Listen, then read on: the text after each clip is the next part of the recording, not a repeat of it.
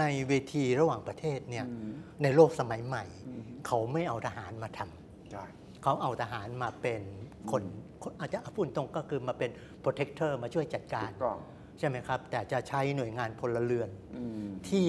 เอาเราใช้ภาษาหยาบๆ อาจจะมีความหมายที่ดูเป็นกลางมากขึ้นอืมเพื่อให้เกิดความมั่นใจทั้งฝ่ายผู้รับครับ แล้วก็ประเทศที่เป็นปัญหาและตัวเราว่าอืมเมื่อเราส่งเนี่ย ผู้รับแล้วตัวรัฐบาลที่เป็นปัญหาก็จะไม่หวาดระแวงครับอืมแต่ทีนี้พอเราทหารเข้าไปเกี่ยวเนี่ยมันก็มีปัญหาคำถามตามมาแทนที่เราจะเป็นพระเอกวันที่ 25เนี่ยครับถ้าใครอยู่ในพื้นที่เนี่ยอืมจะได้เห็นเสียงผมใช้เขียนเพลินเขียนบทความ ผมใช้คำว่าเสียงนินทาจากชายแดนอ๋อเสียงนินทาจากชายแดนดังมากนะมันดังดังมาจากชายแดนดังเลยมานะจากชายแดนแต่ว่าอาจารย์ต้องไม่ลืมว่ามันเป็นมรดกตกทอดมาจากความสัมพันธ์กองทัพไทยกับพม่าที่ใกล้ชิดครับดังนั้นบทบาทของ กองทัพไทยตรงชายแดนเนี่ยสูงมากตลอดเวลาใช่ที่ผ่านมาครับสูงกว่ากระทรวงต่างประเทศแน่นอน ดังนั้นบทบาทจริงๆอะกองทัพทำแต่กองทัพช่วงหลังบอก อย่าเอ่ยชื่อฉันถอฉันอยู่ข้างหลังไม่เอาฉันไม่เสนอหน้า แต่มันไม่ได้ผลใช่ไหมเพราะคนรู้นี่ทุกคนรู้อืมภาพถ่ายมันฟ้องตัวเองใช่ใช่ไหมครับ รวมถึงมันมีกติกาที่ต้องพูดว่า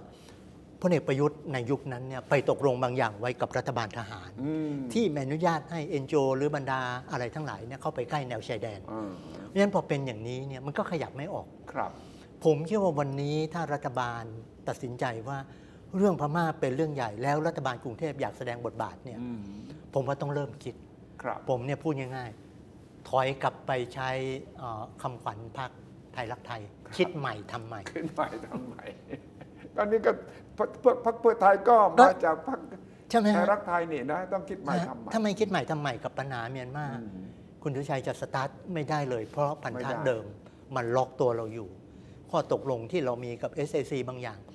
จนบัดนี้ขออนุญาตใช้สื่อตรงนี้นะครับยังไม่รู้ว่ารัฐบาลพลเอกประยุทธ์ตกลงอะไรกับ SAC ที่ไม่เป็นลายลักษณ์อักษรบ้าอ้างวโอ้นี่อันอะนี้ผมลึกเปิดซึ้งที่นี่เลยอันนี้ลึกไม่เคยยังไม่ครับขอเปิดที่ใช่ใช่